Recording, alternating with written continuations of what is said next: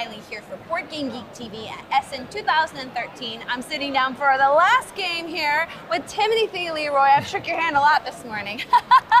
from Blue Orange Games in Europe. And your last game you brought for us today is Chicago Stock Exchange. Chicago Stock Exchange. This is one, two, three games, and uh, we are distributor of this game in Europe. Um, so in Chicago Stock Exchange, it's a two, three, or four player. All the players are trader, okay? And uh, trader for, uh, in French, matière première, I don't know, it's... Uh, Wheat. Wheat, okay. And uh, all the wheats uh, are a value to begin. Seven, six, six, six, six, six. And each turn, you move the trader, or in uh, the clock uh, turn, one, two, or three. Okay? I choose two. Okay. I take this one, and I take this one. Okay? On either side.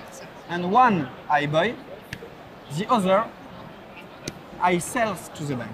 Okay. And this one I sell to the bank, lose one. Okay? It's your turn. You do, for example, uh, one, two. You decide Ah. to to take this one for you and to decrease this one of one. Okay?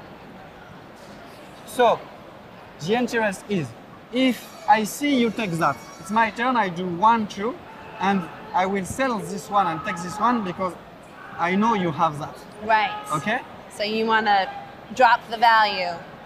That's all for the rules. How, what triggers the end of the game? The end of the game is when there is uh, only two towers. Okay? And then we would score what tiles we have Yeah. based on how much they're worth on the chart. Yeah, How long do you think a game would take you? Five minutes, five, ten It minutes. says 15 on the box. Oh yeah, fifteen minutes. Five, somewhere between five minutes and 15 minutes. Maybe if you really it depends think the about player. it. If you are like that, it's uh, 15 minutes. if you play uh, faster, it's five minutes.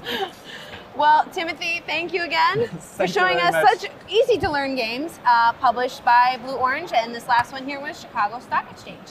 Thank you.